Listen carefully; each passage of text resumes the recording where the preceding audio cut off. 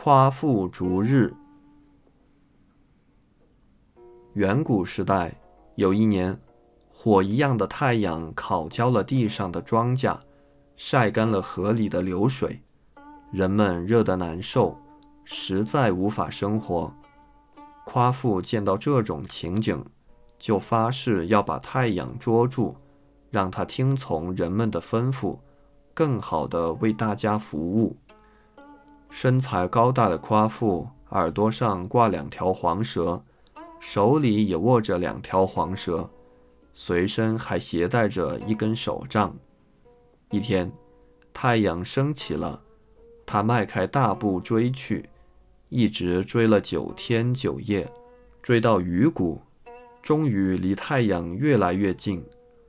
这时，只见一团巨大洪亮的火球就在眼前。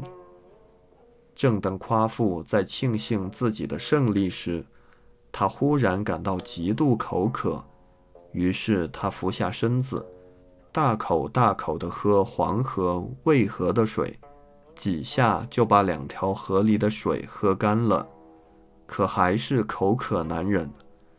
他又向北方奔去，想去喝大泽的水，可是夸父还没有达到目的地就死了，像一座大山一样倒了下来。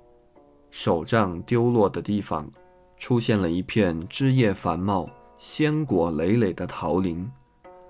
夸父并没有捉住太阳，可是天地被他勇敢的英雄精神所感动，惩罚了太阳。